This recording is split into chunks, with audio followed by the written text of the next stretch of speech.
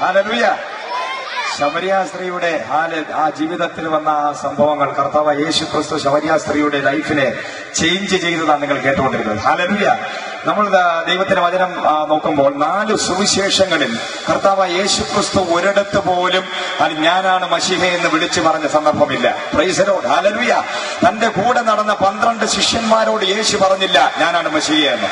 തന്റെ കൂടെ തന്നിൽ നിന്നും അത്ഭുതകരമായ വിടുതലുകൾ പ്രാപിച്ച ഒരു മനുഷ്യനോടും വെളിപ്പെടുത്തിയിട്ടില്ല യേശു ഞാനാണ് മഷിഹ എന്ന്. പക്ഷേ ഒരു ശമരിയ സ്ത്രീ ഒരു ജാതീയ സ്ത്രീ ശമരിയാക്കാരെ പറ്റി പഠിക്കുമ്പോൾ നമുക്ക് കാണുവാൻ സാധിക്കും. പണ്ട് നൂറ്റാണ്ടുകൾക്ക് മുമ്പ് കർത്താവ് യേശു ക്രിസ്തുവിന്റെ കാലഘട്ടത്തിന് മുമ്പ് യഹൂദന്മാരും അത് ജാതികളിൽ നിന്നും വിവാഹം കഴിച്ച് അവരുമായി ഇടകലർന്ന് അങ്ങനെ ഒരു കൂട്ടം ജനം അന്ന് യഹൂദന്മാർ ഒരു കാര്യം പറഞ്ഞു. യഹൂദന്മാർ ശമരിയ സ്ത്രീകളെ അല്ലെങ്കിൽ ജാതികളിൽ നിന്നെടുത്ത് വിവാഹം കഴിച്ചത് കഴിച്ച് മിശ്ര വിവാഹങ്ങൾ കഴിച്ച് മറ്റൊരു ജാതിക്കാരുമായി കൂട്ടുകൂടിയത് കൊണ്ട് ഇവരെ ഇനി മേലിൽ ഇവരുമായിട്ട് നമുക്കൊരു ബന്ധമില്ലെന്ന് പറഞ്ഞ് അവരെ ശമരിയാക്കരുന്ന പേരിട്ട് അവരെ മാറ്റി പാർപ്പിച്ചിരിക്കുമ്പോൾ യേശുക്രിസ്തുവിനെ സംബന്ധിച്ച് ഒരിക്കലും യേശുവിന്റെ മൂന്നര വർഷക്കാലത്തെ ശുശ്രൂഷയിൽ അത് ഈ ശമരിയ സ്ത്രീയുടെ മുമ്പിൽ വന്നുകൊണ്ട് അത് ഞാനാണ് മഷി എന്ന് വിളിച്ചു പറയേണ്ട കാലഘട്ടം അല്ലെങ്കിൽ സമയമായിട്ടില്ല. കാരണം അത് ജാതികളായിട്ടുള്ള ഒരു വ്യക്തിയോടും യേശുവിന്റെ കാലഘട്ടത്തിൽ സുവിശേഷം പറയണമെന്ന് നിർബന്ധമില്ല.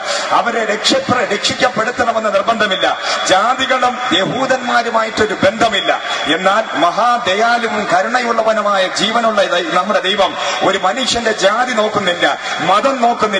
അവൻ ഏത് കുടുംബത്തിൽ ജനിച്ചു ജീവിക്കുന്നെന്ന് നോക്കുന്നില്ല. ആ യേശുക്രിസ്തുവിനെ സംബന്ധിച്ച് ഒരൊറ്റ കാര്യം ഈ ലോകത്തിലുള്ള സകല മാനവരാശിയും എന്റെ യേശുവിന് ഒരുപോലെയാണ്. ഈ ലോകത്തിലെ മനുഷ്യൻ ജാതി പറയും അവൻ മതം പറയും. ആ മതത്തിനകത്തും ജാതി സ്പിരിറ്റ് ഉള്ളവരുണ്ട്. സഭകൾക്കകത്ത് ജാതി സ്പിരിറ്റ് ഉണ്ട്. മതത്തിന്റെ അകത്ത് മതസ്പർദ്ധകളുണ്ട്. പക്ഷെ എന്റെ യേശുവിന് മതവും ജാതിയും ഇല്ല. ജാതി സ്പിരിറ്റ് ഉള്ളവരാണ് എന്റെ യേശുവെങ്കിൽ ഈ ലോകത്തിന്റെ കേന്ദ്രം എന്ന് പറയുന്നത് ഇസ്രയേലാണ്. ഈ ലോകത്തിന്റെ ഈ ലോകത്തിൽ ഏറ്റവും ശക്തനായ അല്ലെങ്കിൽ ഏറ്റവും ബുദ്ധിമാന്മാർ ഏറ്റവും നിറമുള്ളവർ ഏറ്റവും ആരോഗ്യമുള്ളവർ ഏറ്റവും ബുദ്ധിയുള്ളവർ ഏറ്റവും വിദ്യാസമ്പന്നർ സകലവിധ യോഗ്യതകളും ഉണ്ട് എന്ന് ലോകത്തിലുള്ള സകലരും സമ്മതിച്ചവരാണ് യഹൂദന്മാർ. ആ യഹൂദ കുലത്തിൽ ജനിച്ച യേശുക്രിസ്തുവിന് ഹാലെ പിന്നെ ഒരിക്കലും ശിഷ്യന്മാരോട് പറഞ്ഞ പറയേണ്ട കാര്യമില്ല. നിങ്ങൾ പോയി ജാതികളോട് സുവിശേഷം പറയണമെന്ന്. പൈസലോ ഹലലുയ യോ തോമസ് ശ്രീഹയോട് ആ പരിശുദ്ധാത്മാവിന്റെ വ്യക്തമായ വെളിപ്പാടോടുകൂടി തോമസ് ശ്രീഹ എന്ന് പറയുന്ന യഹൂദൻ ഈ ഇന്ത്യയിൽ വന്ന് ജാതികളായ നമ്മളോട് സുവിശേഷം പറഞ്ഞ് അവർക്ക് ലഭിച്ച മഹാഭാഗ്യത്തെ നമുക്ക് പകർന്നു തന്നത് തോമസ് ശ്രീഹയുടെ ഇഷ്ടപ്രകാരമല്ല. ഒരു മനുഷ്യന്റെ ഇഷ്ടപ്രകാരമല്ല. ഇത് ദൈവത്തിന്റെ ഇഷ്ടപ്രകാരമാണ്. ഇന്ന് ചെക്കടി ദേശത്തിന്റെ നടുവിൽ ഇതുപോലെ ഒരു സുവിശേഷ മഹായോഗം അല്ലെ ക്രമീകരിച്ചിരിക്കുന്നത്. അത് യേശു സ്വർഗത്തിൽ തീരുമാനിച്ചു. പിതാവും പുത്രനും പരിശുദ്ധാത്മാവും തീരുമാനിച്ചു.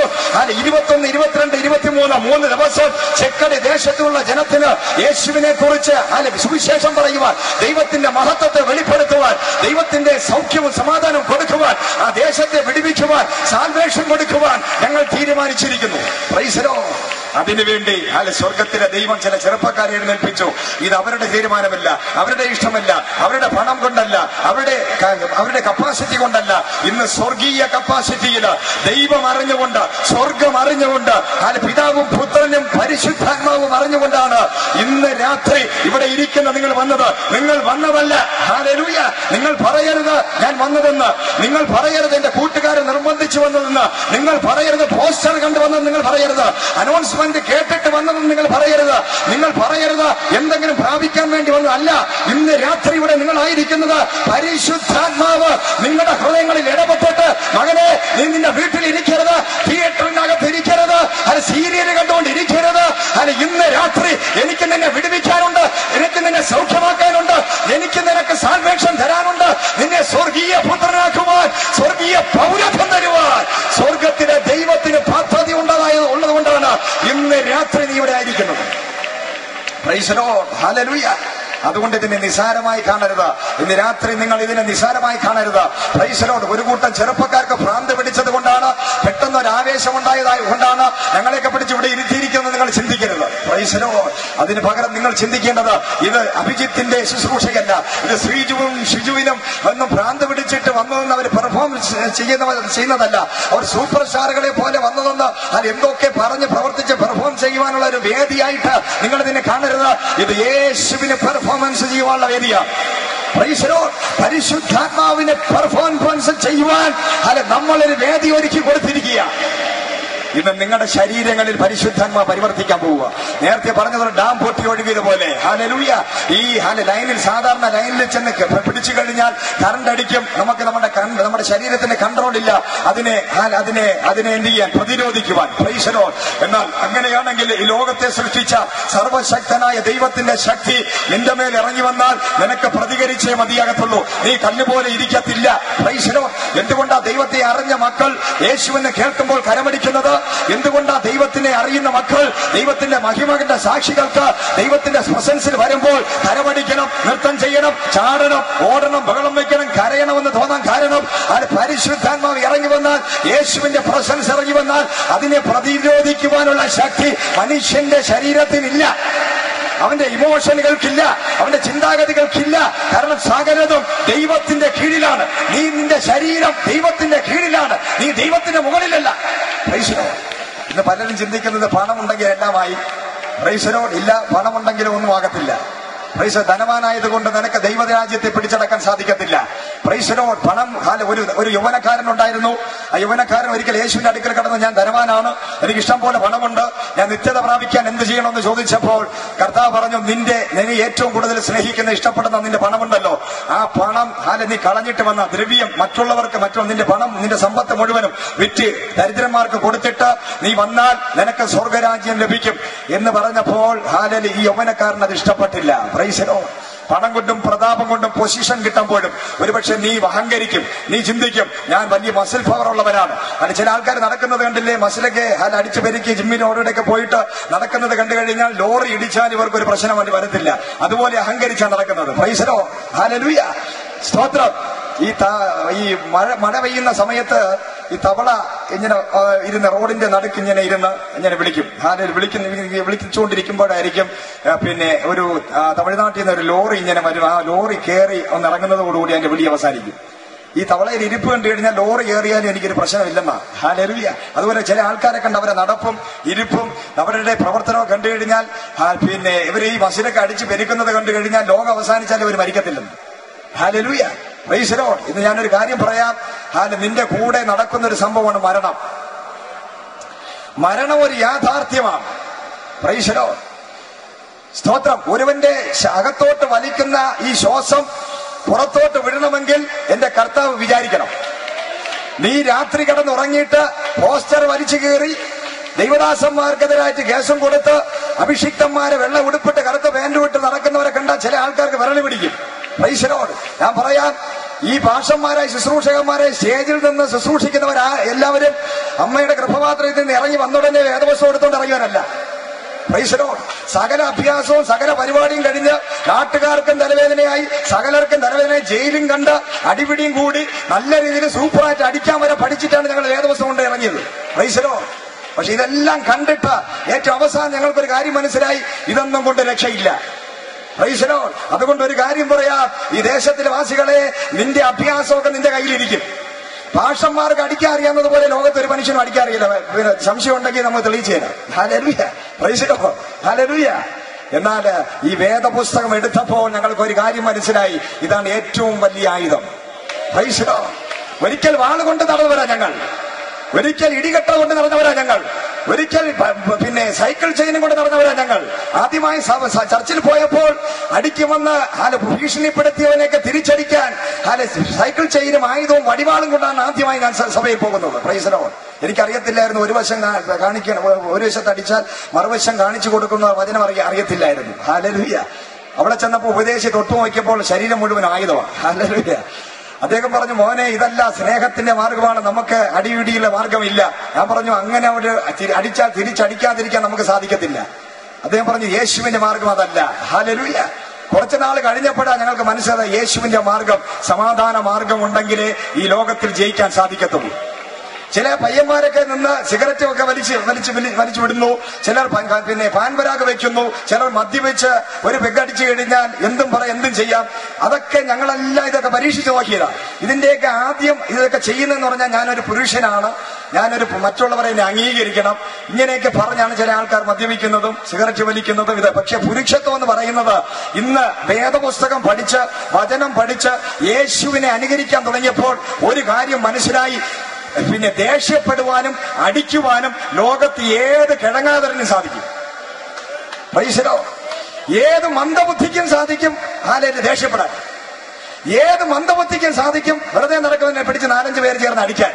പൈസലോ ഏത് മന്ദബുദ്ധിക്കും പ്രശ്നങ്ങൾ ഉണ്ടാക്കാൻ സാധിക്കും? സിഗരറ്റ് വലിക്കാൻ ബോധം വേണമെന്നില്ല. മദ്യപിക്കാൻ ഒരു വിവരം വേണമെന്നില്ല.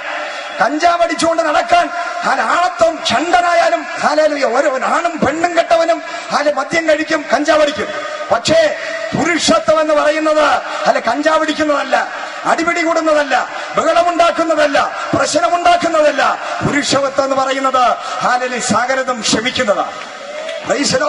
ഹാലലൂയ സകലതും ക്ഷമിക്കുവാൻ സകലതും സഹിക്കുവാൻ യേശു മറ്റുള്ളവരെ സ്നേഹിക്കുവാൻ അയൽവാസിയെ സ്നേഹിക്കുവാൻ ഒരുത്തൻ വന്ന് അടിച്ചാൽ ചിരിച്ചുകൊണ്ട് കൈകൊട്ടുക കൈകെട്ടിക്കൊണ്ട് നിൽക്കുവാൻ അത് സാധിക്കുന്നവനായാണ് പുരുഷൻ എന്ന് പറയുന്നത്. ദേശത്തിന് മറ്റുള്ളവർക്ക് ചില ആണ് ആണത്വം കാണിക്കാൻ വേണ്ടി എന്തൊരു പൊസിഷനോ എന്തൊരു വിദ്യാഭ്യാസം പിന്നെ വിദ്യാഭ്യാസം ഉണ്ടായത് കൊണ്ടോ പഠിച്ചത് കൊണ്ടോ ഡിഗ്രി എടുത്തത് കൊണ്ടോ ഒരു ഒരു പൊസിഷൻ കിട്ടണമെന്നില്ല. ഹാലലൂയ ഏത് പൊസിഷൻ കിട്ടണമെങ്കിലും സ്വർഗത്തിന് ദൈവം വിചാരിക്കണം.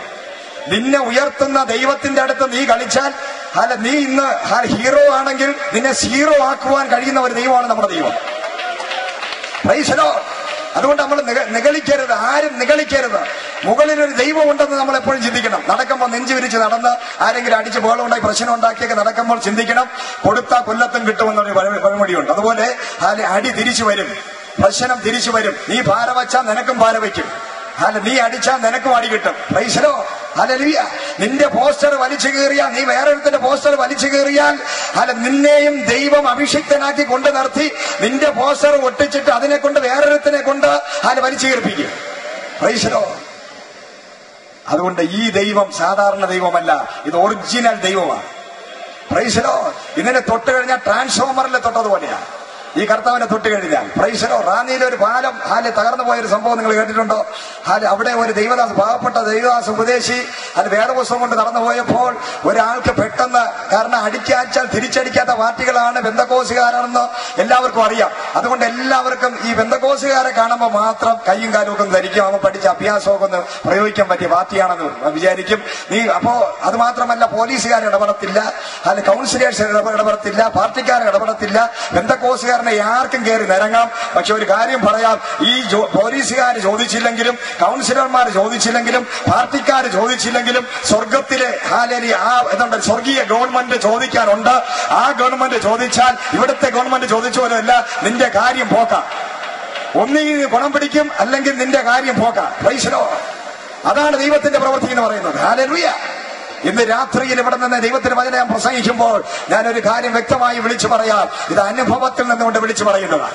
ദൈവത്തിന്റെ അഭിഷിക്തന്മാരെ ഉപദ്രവിച്ചവരാ ഞങ്ങൾ. ഹാലരൂയ വേദപുസ്തകം വലിച്ചു കീറിയവരാ ഞങ്ങളെ. എന്നാൽ യേശുവിന്റെ നാമത്തിൽ ഇന്ന് രാത്രി ഇവിടെ കൊണ്ടുവന്ന് നിർത്തിയിരിക്കുന്നെങ്കിൽ ഞങ്ങൾക്ക് ചങ്കൂറ്റത്തോടു കൂടി പറയാൻ സാധിക്കും. ഹാലരൂയ യേശു ജീവിക്കുന്ന ദൈവം. ഈ കർത്താവ് ജീവിപ്പിക്കുന്ന ദൈവം. ഈ ദൈവം മരിച്ചിട്ടില്ല. അവൻ ഉയർത്തെഴുന്നേറ്റ് ജീവിക്കുന്നു. അവൻ വീണ്ടും തിരിച്ചു വരും. Lord. വേദപുസ്തകം കള്ളം പറയത്തില്ല. ഹാലലുയ. ഇത് ചെറിയ പുസ്തകമാണ്. ഹാലലുയ. പുസ്തകങ്ങളിൽ മതഗ്രന്ഥങ്ങളിൽ വെച്ച് ഏറ്റവും ചെറിയ പുസ്തക പുസ്തകമാണ് ബൈബിൾ എന്ന് പറയുന്നത്. പ്രൈസലോ എന്നാൽ എൽ എൽ ബി എടുത്ത ഒരു വ്യക്തിക്ക് അവന്റെ നിയമപുസ്തകം പഠിച്ചിട്ടും വിവരമില്ല. കോർട്ടിൽ ചെന്ന് നിന്ന് ബാധിക്കാൻ കപ്പാസിറ്റി ഇല്ലെങ്കിൽ നീ സദൃശ്യവാക്യം ഹാലലി എല്ലാ ദിവസവും വായിച്ചിട്ട് നീ കോർട്ടിൽ പോ. നീ പറയുന്ന കേട്ട ജഡ്ജി ലെവൽ തെറ്റി തറയി വീഴും പ്രൈസലോ ഒരു ഡോക്ടർക്ക് വിവരമില്ലെങ്കിൽ എം ബി ബി എസ് എടുത്താലും വിവരമില്ലാത്ത ഡോക്ടറെ അല്ല നീ ബൈബിൾ എടുത്തു വെച്ച് വായിച്ചിട്ട് ദൈവകൃപയിൽ ആശ്രയിച്ച് അല്ല രോഗിക്ക് വേണ്ടി രോഗിയെ ചികിത്സിച്ചാൽ നിനക്കൊന്നും അറിയത്തില്ലെങ്കിലും ഹാലേലുയ രോഗി സൗഖ്യമാകും. പ്രൈസലോ അതാണ് ഇതിന്റെ മാന്ത്രിക സ്പർശനം. ഹാലേലുയ. ബൈബിൾ എന്ന് പറയുന്നത് ദൈവത്തിന്റെ ശക്തിയുള്ളതാണ്. എം ബി ബി എസ് എടുത്തവന് വിവരമില്ല ഇന്നത്തെ കാലത്ത്. ഹാലലുയ. ആർക്കും വിദ്യാഭ്യാസം ഉണ്ടെങ്കിലും അതിനനുസരിച്ചുള്ള വിവരമില്ല. പക്ഷേ വിവരം വെക്കാൻ ഈ ലോകത്തിൽ ഏറ്റവും പറ്റിയതാണ് ഈ വേദപുസ്തകം. ഒരു വീട്ടിൽ വരുന്ന ഒരാളിനെ ഹാലനെ എങ്ങനെ പരിചരിക്കണമെന്ന് ഈ വേദപുസ്തകത്തിനകത്തുണ്ട്? ഒരു കുടുംബജീവിതത്തിൽ ആദ്യമായി കയറുന്ന സ്ത്രീയും പുരുഷനും അവർ എങ്ങനെ കുടുംബജീവിതം നയിക്കണമെന്ന് ഈ വേദപുസ്തകത്തിനകത്തുണ്ട്. ശാസ്ത്രജ്ഞന്മാർ വിവരമില്ലാത്തവരായിരുന്നു. ഹാലലൂയ പക്ഷേ ഹാല ന്യൂക്ലിയർ ബോംബ് ഹാല മഞ്ഞ് പിന്നെ എങ്ങനെ പൊട്ടാതിരിക്കണം തണുപ്പത്ത് പൊട്ടാതിരിക്കണമെന്ന് വേദപുസ്തകം വായിച്ചപ്പോഴവൻ മനസ്സിലായത്. ഈ ബോംബ് ഉണ്ടാക്കാൻ വിവരമില്ലാതിരുന്നപ്പോൾ വേദപുസ്തകം നോക്കിയ മൂല മൂലപദാർത്ഥങ്ങൾ കത്തി അഴിവെന്ന് വചനം വായിച്ച ഈ ന്യൂക്ലിയർ ബോംബ് ഉണ്ടാക്കിയത്. ഒരിക്കൽ ഞാനൊരു സ്ഥലത്ത് ചെന്ന് സുവിശേഷം പറഞ്ഞുകൊണ്ടിരുന്നപ്പോൾ കുറച്ച് ആൾക്കാർ വന്ന് നിർത്തണ നിന്റെ സുവിശേഷം നീ വിദേശത്ത് നിന്ന് കൊണ്ടുവന്നതാണ് അതാണ് ഇതാണെന്ന് പറഞ്ഞ് എന്നെ ഹാൽ ചീത്ത പറയാൻ തുടങ്ങി. ഞാൻ പറഞ്ഞു വിദേശത്ത് നിന്ന് കൊണ്ടുവന്നതാണ് യേശുവെങ്കിൽ നീ ആദ്യം നിന്റെ പേരിന്റെ ഷർട്ടൊക്കെ ഊരിയിടാൻ പറഞ്ഞു.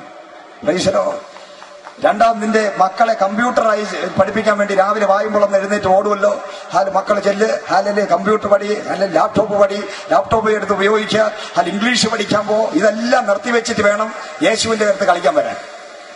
പ്രൈസലോ ഹാലരി സുവിശേഷം നിർത്ത് നിന്റെ പ്രസംഗം നിർത്ത് വിദേശത്ത് കൊണ്ടുവന്ന് കൊണ്ടുവന്ന യേശുവിനെ നിർത്തുന്ന പറഞ്ഞാൽ ആദ്യം നിന്റെ മക്കളെ ഹാല കമ്പ്യൂട്ടറിൽ ആ കമ്പ്യൂട്ടർ എടുത്ത് തറയിലടിച്ച് പൊട്ടിക്കണം. നിന്റെ ഇംഗ്ലീഷ് പഠിക്കാൻ രാവിലെ എഴുന്നേൽപ്പിച്ചു വിടുന്ന ഇംഗ്ലീഷിന്റെ ആ ഇതുണ്ടല്ലോ സ്കൂളിൽ അയക്കരുത്. ഹാലലുയ നീ പാന്റും ഷർട്ട് ഉപയോഗിക്കരുത് ജീൻസ് ഇടരുത്. പ്രൈസ് ഒന്നും ഇടരുത്. അത് കോൾഗേറ്റ് തേക്കരുത്. രാവിലെ എഴുന്നേറ്റ് എല്ലാവരും കോൾഗേറ്റ് ആണ് യൂസ് ചെയ്യുന്നത്. അത് ക്രിസ്ത്യാനി യഹൂദം കണ്ടുപിടിച്ചതാ. പ്രൈസലോ ക്രിസ്ത്യാനിയെ പിന്നെ കുറ്റം പറയുന്നതിന് മുമ്പ് ഓർക്കണം രാവിലെ പല്ല് തേക്കുന്ന ഉമിക്കിരി കൊണ്ടുവേണം ഇനി തേക്കാൻ. പ്രൈസിനോ? കോൾഗേറ്റ് യൂസ് ചെയ്യരുത്. പ്രൈസിനോ? നമ്മൾ എന്തെങ്കിലും പറയുന്നതിന് മുമ്പ് ഹാലൊരു യേശുക്രിസ്തുവിനെ കുറിച്ച് നമ്മൾ തിരിച്ചറിഞ്ഞിരിക്കണം. ഈ ബൈബിൾ ലോക രാജ്യങ്ങളെ മാറ്റുന്നതാണ്. ഹാലലുയ ഈ ബൈബിൾ ഉള്ളത് കൊണ്ടാണ് വേദപുസ്തകം ഉള്ളത് കൊണ്ടാണ് ഇന്ന് പലരും പാന്റും ഷർട്ടും ഇട്ട് കമ്പ്യൂട്ടറും പഠിച്ച് അത് സോഫ്റ്റ്വെയർ എഞ്ചിനീയറുമായി വിദേശ ലോക രാജ്യങ്ങളിൽ ചെന്ന് പണം കോടികൾ കണക്കിന് സമ്പാദിച്ചു കൊണ്ടുവന്ന നീയും നിന്റെ തലമുറയും ജീവിക്കുന്നത് പ്രൈസലോ ഇത് യേശുവിന്റെ കൃപയാ കർത്താവിന്റെ മഹത്വമാ ദൈവത്തിന്റെ സ്നേഹമാ. ലോകത്തിലെ സകല മനുഷ്യരോടും ദൈവത്തിനുണ്ടായ കൃപയാണ് ഇന്ന് പകൽക്കാലം ഇന്ന് രാത്രി നമ്മൾ കേട്ടുകൊണ്ടിരിക്കുന്ന ദൈവത്തിന്റെ വചനം. പ്രൈസരോ ഇത് ദൈവത്തിന്റെ കൃപയാ. നമ്മൾ ആരും ഫോർട്ടി ഡേയ്സ് ഫാസ്റ്റിംഗ് പ്രയർ ഇരുന്നാ കിട്ടുന്നതല്ല ഇത്. ഇരുപത്തൊന്ന് ദിവസം ഫാസ്റ്റ് ചെയ്താൽ കിട്ടുന്ന കൃപയല്ല ഇത്. ഹാലലുയ നിന്റെ പ്രവൃത്തി കൊണ്ട് ഹാല നിനക്ക് കിട്ടുന്നതല്ല ഇത്. ഇത് ദൈവത്തിന്റെ സൗജന്യമായ ഒരു രക്ഷയാണ് ഇന്ന് പകൽക്കാലം ഉള്ളത്. ഈ സൗജന്യമായ രക്ഷ ആർക്കൊക്കെ വേണം? പ്രൈസലോ ഹാലലുയ സ്വർഗത്തിൽ നിന്ന് സൗജന്യമായി ലഭിച്ചതാ. ആർക്കെങ്കിലും പറയാൻ പറ്റോ? ഞാൻ വിശുദ്ധനായപ്പോഴാണ് എനിക്ക് ഈ രക്ഷ കിട്ടിയെന്ന്. ഹാലലുയ ഞാൻ പാപത്തിൽ മുങ്ങി ജീവിച്ചു കൊണ്ടിരുന്നപ്പോഴാണ് എനിക്ക് യേശുവിനെ രക്ഷിതമായി എനിക്ക് കിട്ടിയത്. പ്രൈസലോ പാപം എന്തെന്ന് തിരിച്ചറിയാത്ത സമയത്ത് പാപിയായിരുന്ന എന്നാൽ യേശുവിന് കരുണ തോന്നി. മകനെ ശ്രീജു എന്ന് വിളിച്ച് എന്നോട് സംസാരിച്ചപ്പോൾ എന്റെ കർത്താവ് യേശുവിനെ എനിക്ക് മനസ്സിലാക്കാൻ സാധിച്ചു. ഞാൻ പാപിയായിരുന്നപ്പോൾ ശമരിയാക്കാരി സ്ത്രീ പാപിയായിരുന്നു. അവളുടെ പാപത്തെ കുറിച്ച് നാട്ടുകാരെല്ലാം പറഞ്ഞു നീ ഒരു പാപിനിയാ.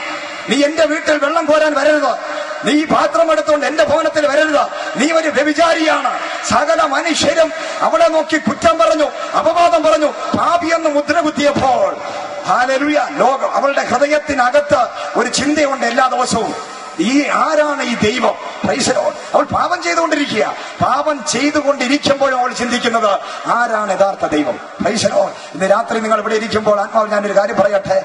നിന്റെ ഹൃദയത്തിനകത്ത് നീ ഏത് കുലത്തിൽ ജനിച്ചാലും ഏത് ആരാധനയ്ക്ക് പോകുന്നവളാണെങ്കിലും പോകുന്നവനാണെങ്കിലും ഞാൻ ഒരു കാര്യം ചോദിക്കാം. നിന്റെ ഹൃദയത്തിനകത്ത് ദൈവം ആരെന്ന് അറിയാനുള്ള ആഗ്രഹമുണ്ടെങ്കിൽ ഇന്ന് രാത്രി എന്റെ യേശു നിന്നെ സ്നേഹിക്കുക നീ പാ നീ ചെയ്യുന്ന പാപത്തിനെ കുറിച്ച് നീ ഭയപ്പെടരുത്. കാരണം ഈ പാപത്തിനെ ജയിക്കുവാനുള്ള ദൈവശക്തി യേശുവിന് തരാൻ സാധിക്കും.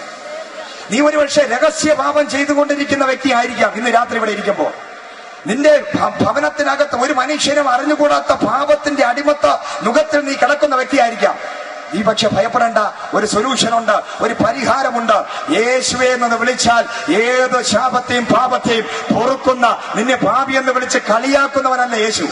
ആ പാപിയായ മനുഷ്യ സ്ത്രീയെ നോക്കി നിന്റെ പാപത്തെ ഞാൻ ക്ഷമിച്ചിരിക്കുന്നു എന്ന് പറയുവാൻ കഴിയുന്ന ഒരു യേശുവിന്റെ അടുക്കൽ അന്ന് രാത്രി വന്നിരിക്കുന്നു. പ്രൈസ് പത്രോസിന് വെളിപ്പെട്ടില്ല മഷിയാണെന്ന്. ഹാലലുയ യോഹന്നാന് വെളിപ്പെട്ടില്ല. ഹാലലുയ ശിഷ്യന്മാർക്ക് ആർക്കും വെളിപ്പെട്ടില്ല. ആരോടും യേശു അങ്ങോട്ട് പറഞ്ഞില്ല ഞാൻ മഷിയാണെന്ന്. പക്ഷെ ഒരു സ്ത്രീ ഒരു പാപിനിയായ സ്ത്രീ വന്നപ്പോൾ ആ പാപിനിയായ സ്ത്രീ ജാതീയ സ്ത്രീ വന്നപ്പോൾ അവൾ വെള്ളം കോരാൻ വേണ്ടി വന്നപ്പോൾ ആ കിണറിന്റെ മുകളിൽ മറ്റൊരു കിണറിരിക്കുക. ഹലലുയ ഇതുവരെ ലോകത്തിൽ ഒരിക്കലും വറ്റാത്ത വെള്ളം കൊടുക്കുന്ന ഒരു കിണർ. അതാണ് യേശു. Lord. ഈ ലോകത്തിലുള്ള കിണറിനെ ഇന്ന് ആശ്രയിക്കാൻ പറ്റത്തില്ല. ഇത് എപ്പോഴാണ് ഭൂമി അങ്ങോട്ടും ഇങ്ങോട്ടും മാറി വെള്ളമില്ലാതായി പോകുന്ന ഇടിഞ്ഞു പോകുന്ന പറയാൻ പറ്റത്തില്ല. പ്രൈസരോ പൈപ്പിൽ നിന്ന് വെള്ളമില്ല. കുടിവെള്ളം വില കൊടുത്ത് വാങ്ങിക്കണം. പക്ഷേ ഒരുവനുണ്ട് നീ ദാഹിക്കുന്നവയാണെങ്കിൽ ഇന്ന് രാത്രി അല്ലെങ്കിൽ നിന്റെ ലൈഫ് മുഴുവനും നിത്യമായ അതിന്റെ വെള്ളം കുടിക്കാൻ തരാൻ സാധിക്കുന്ന ഒരു യേശുവിനെയാണ് ഇന്ന് രാത്രി ഞാൻ പ്രസംഗിക്കുന്നത്.